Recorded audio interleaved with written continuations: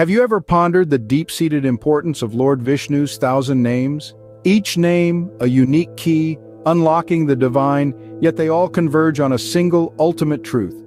Picture a boundless cosmic library where each name represents a distinct book, poised to be opened, ready to be delved into. Like any gripping book, every name possesses the power to whisk you away to a fresh realm of comprehension, a novel viewpoint on the divine and our position within the cosmos. Take for instance the name Krishna, a seemingly simple word yet it overflows with profound implications. It brings forth visions of divine frolic, cosmic love, and the ceaseless dance of creation. This name calls for introspection, contemplation, and ultimately the discovery of self.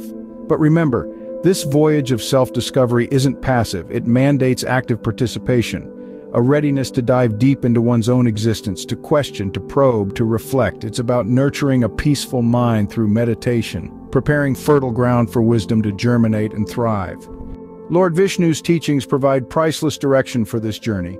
They are guiding beacons along the path, directing us towards the eternal truths that reside within us.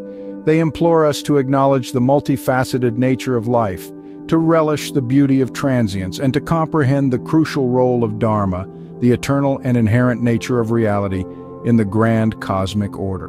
Lord Vishnu's wisdom isn't merely about high-flown spiritual ideals, it's about weaving these insights into the fabric of our daily lives. It's about discerning the divine in the mundane, the sacred in the ordinary.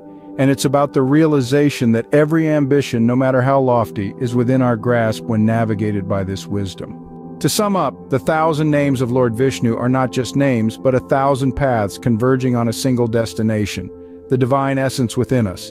They are a thousand chances for self-discovery, a thousand reminders of our divine nature. So we pose the question once more, what's in a name? In the context of Lord Vishnu's names, the answer is everything.